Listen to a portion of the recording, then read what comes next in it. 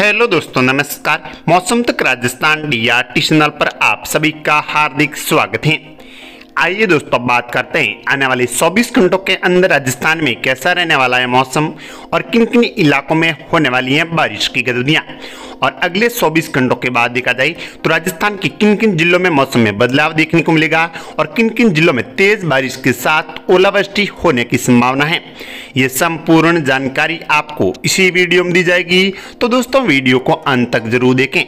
और संपूर्ण भारत के मानसून पूर्वानुमान 2024 का वीडियो आपको इस चैनल पर जल्दी उपलब्ध होगा, जिसके लिए आप हमारे चैनल मौसम तक राजस्थान डीआरटी को सब्सक्राइब ज़रूर करें और अपने दोस्तों के साथ शेयर ज़रूर करें।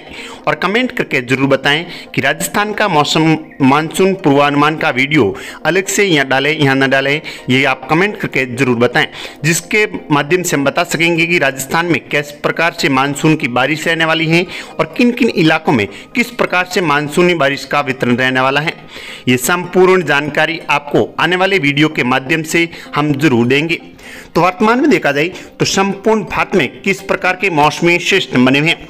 मौसमी सिस्टमों की बात करें, जो पहले मज़बूत सक्रिय डब्ल्यूडी आया था, वो अब आगे निकल चुका है, जिसके प्रभाव से डब्ल्यू की बारिश की गतिविधियाँ आज से राजस्थान के अंदर समाप्त होती हुई नज़र आ सकती हैं।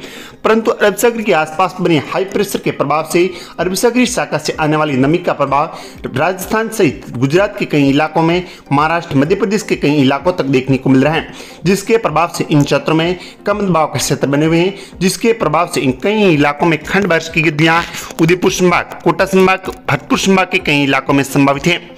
राजस्थान के पश्चिमी इलाकों में देखा जाए तो अगले 24 घंटों के दौरान राजस्थान के जोधपुर, संभाग, पाली संभाग के कई इलाकों में भी खंड वर्ष की गतियाँ देखने को मिल सकती हैं।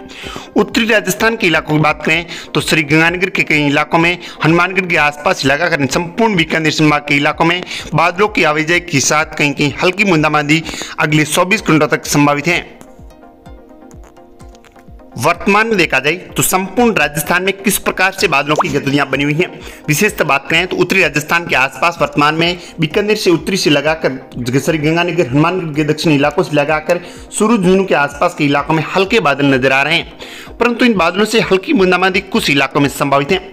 बाकी देखा जाए तो दक्षिण पूर्वी राजस्थान के कई इलाकों में मध्यम से तेज बारिश की गतियाँ अगले 24 घंटों के अंदर उदयपुर संभाग, कोटा संभाग के कई इलाकों में और जोधपुर व पाली संभाग के कुछ इलाकों में हल्की खंड बारिश की गतियाँ संभावित हैं।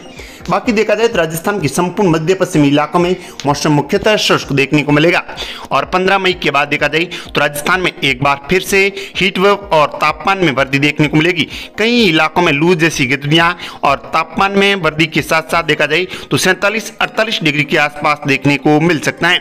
उसके बाद एक मज़बूत सक्रिय डब्ल्यू प्लस अरब सागरी शाखा से आने वाली नमी के प्रभाव से फिर से राजस्थान के कुछ इलाकों में प्री मानसूनी बारिश की गतियाँ देखने को मिल सकती हैं। उससे पहले देखा जाए तो राजस्थान में कोई विशेष बारिश की गतियों के साथ रात की बात देखने को नहीं मिल रही है। मानसून मौसम विभाग के अनुसार भी देखा जाए तो अगले कुछ दिनों के अंदर राजस्थान में एक बार फिर से तापमान में वृद्धि देखने को मिलेगी। मध्य भारत के आसपास देखा जाए तो इन सवत्रों में प्री मानसूनी बारिश की गतिविधियों में काफ़ी वृद्धि देखने को मिल रही है और कई राज्यों में मध्यम स्तेज तो कुछ इलाकों में मूसलाधार बारिश की गतियाँ देखने को मिल सकती हैं।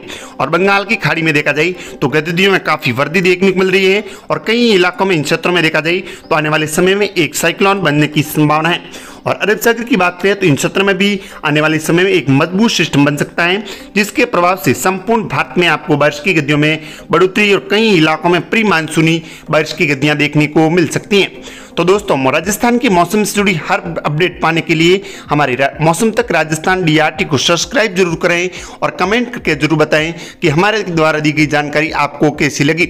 और वीडियो को लाइक ज़रूर करें।